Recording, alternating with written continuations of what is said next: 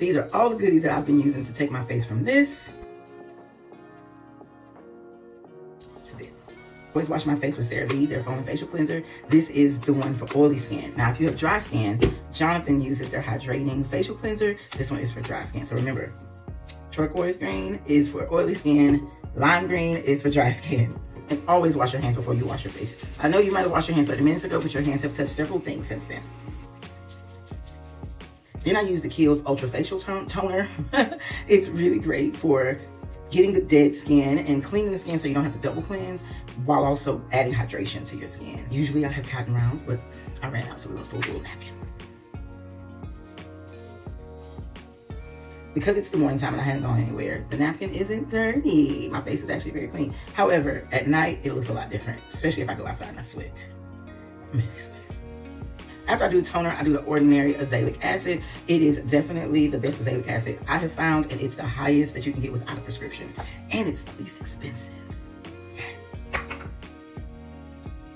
Every two to three days, I do do this BHA liquid exfoliant from Naturium. It's definitely the best I have ever had. And liquid exfoliant is better than a physical exfoliant because physical exfoliants can tear little tears in your skin that you can't see, but they definitely damage the skin underneath especially. And so the liquid exfoliant does the job without damaging your skin. Using this deep pore cleansing mask by Kiehl's, I usually do this about twice a week and it is absolutely amazing. Clay mask is amazing for anyone who has acne or has clogged pores. It helps to kind of pull out those impurities and then after that you can tone to kind of wipe away everything and pull out. Really been loving this Caudalie eye cream. It's known to target dark spots and your girl got a few of them. I love this applicator too. Using this for a couple of days, but so far, I absolutely love it. Using so many products that dry out my skin already using an, an oil-free moisturizer is just not an option. However, the moisturizers for dry skin are way too oily and way too thick, way too creamy, and way too pore clogging. So I found a beautiful alternative. It is the Collagen Superfusion Facial Oil by Charlotte Tilbury.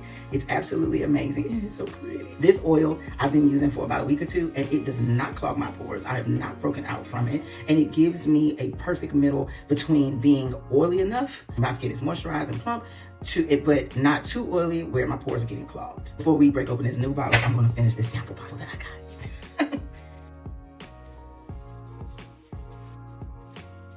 sunscreen, especially when you struggle with hyperpigmentation, using sunscreen is a must. Because I'm already using so many chemicals on my face, I really do not want to use a chemical sunscreen on a daily basis. So I opted for a mineral sunscreen by Supergoop. This one is a bioretinol plus mineral SPF, and it's SPF 40.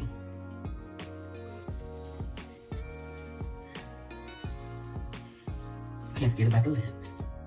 I have been so in love with the Tatcha, the Kissu lip mask. I'm so in love with it that I went ahead and bought one for my purse too. It's absolutely amazing to use throughout the day, overnight. It is the stickiest lip mask I have ever tried. It does not wear off easily. It doesn't have like a strong scent, even though it does say it's Japanese peach lip jelly.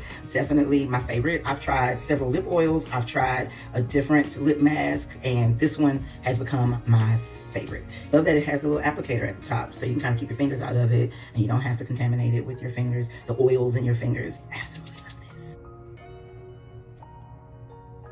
Also want to note that I do use tretinoin as well at night. Tretinoin, it is a steroid cream that helps to speed up the turn cell process, which kind of helps to push any bumps underneath the skin and any bumps on top of the skin, kind of push them on through their process so that you can extract them and heal them. So because it does speed up the cell turnover process, it will help with hyperpigmentation. And I'm done. oh my goodness, look at that.